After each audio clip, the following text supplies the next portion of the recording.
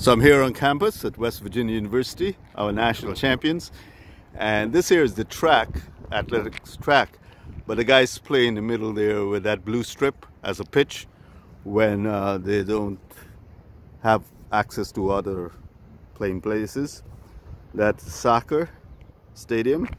And next to it is the old baseball stadium, which they're hoping to get for cricket and it just takes a little bit of work and it'll be perfect for cricket. The dimensions are pretty good.